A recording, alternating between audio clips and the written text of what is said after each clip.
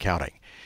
And joining us now at the uh, console here at the Mission uh, Control Center at the Atlas Space Flight Operations Center is uh, Wanda Harding. She is the mission manager for the Launch Services Program here at Kennedy Space Center. And Wanda has been uh, very much involved with uh, this mission and particularly the uh, the Atlas V rocket and the interface between the rocket and the spacecraft. And uh, we have asked Wanda if she would uh, walk us through a little bit about uh, what we've done to get uh, this Atlas V ready to fly today. So, Wanda, welcome. And if you could tell us now what we're seeing as uh, we start to play the video. Okay. as they're queuing up the video, what we see is the Atlas V and shortly the Centaur coming off the Foss Mariner. Uh, this is the first time we've actually transported the Atlas V by uh, ocean vessel. It usually comes in by air on the Antonov, but uh, for this mission we were able to share a ride with the WGS Delta IV booster. Uh, you see the vehicle being transported, uh, arrived at uh, the port, and transported up to Cape Canaveral to the ASOC where the booster and the Centaur completed their checkout. Now they're getting ready to transport out to the launch site. Uh, we started the erection of the booster on the 29th. I'm sorry, they arrived on the 29th of July, but we started all of the operations out at the VIF, or the Vertical Integration Facility, on the 8th of September. And so here you see them uh, lifting the booster uh, you see the nozzles for the RD-180 engine going up. Uh, this took about a day or so, and you see it's a very skillful operation uh, that's required, uh, making sure that everything aligns as appropriate. And of course, um, once the booster has been outfitted, here we have a nice view of the VIF. Uh, once the booster's been outfitted, there are four solids flying on this vehicle. It took about a day each for mounting the four solids on each on the on the vehicle itself. Uh, here you see them erecting one of the solids. Once those were in place, then they continued with stacking of the launch vehicle, and we got as far as the lower base module on the vehicle, which I'll show in a moment, uh, to support our wet dress rehearsal.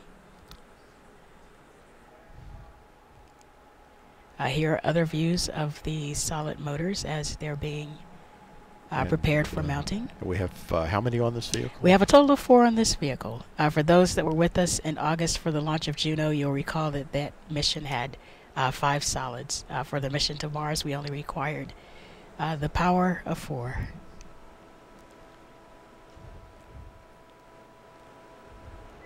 And as you see at the top, Aerojet is the provider of the solid rocket boosters that we have for this vehicle.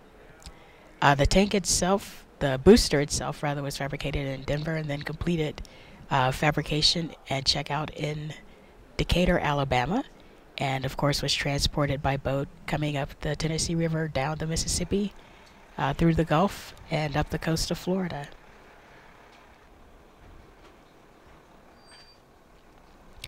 Once the solids were attached to the booster. Uh, it was time to bring the Centaur, which is the upper stage of the launch vehicle, and that's also the stage that will propel uh, MSL into its hyperbolic departure orbit.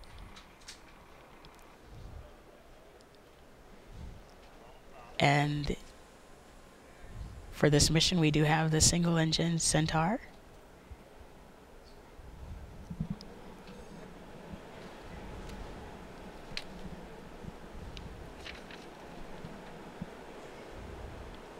And as I stated, the booster was brought on board on the 8th of September. Uh, the Centaur arrived out at the VIF on the 21st of September.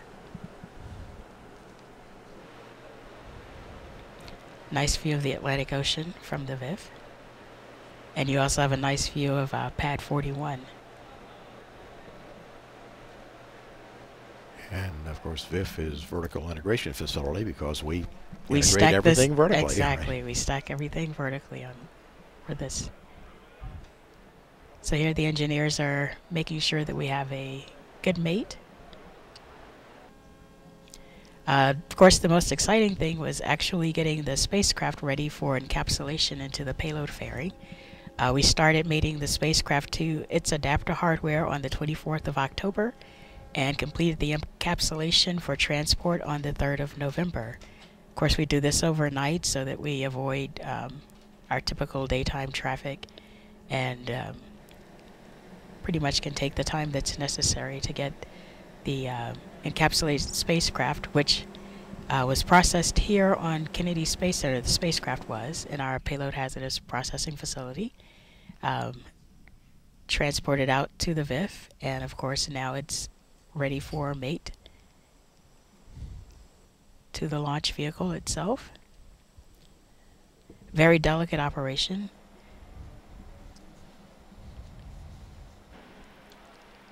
And what you see taped is actually protecting the MSL logo that's on the payload fairing because there were some additional operations and access required by the spacecraft team. Uh, we didn't want to violate any of the cleanliness requirements.